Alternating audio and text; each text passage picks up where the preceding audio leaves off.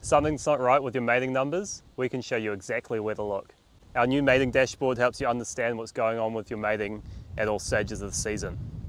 I'm here at our test farm just having a look at how things went for the season just been.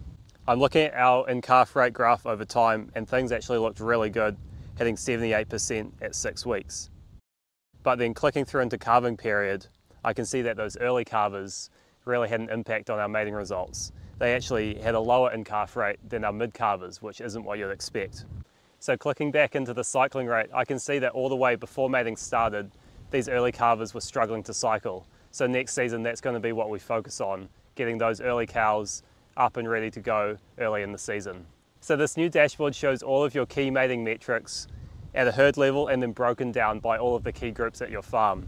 So you can see what your age groups were doing, your body condition score groups, and also your calving periods, helping you isolate exactly which cows did really well and which cows were dragging you down.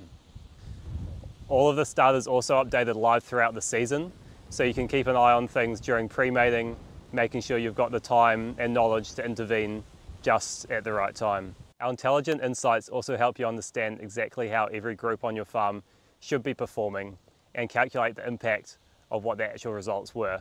This helps you isolate exactly which groups had the biggest impact on your farm's season and which ones to focus on next year.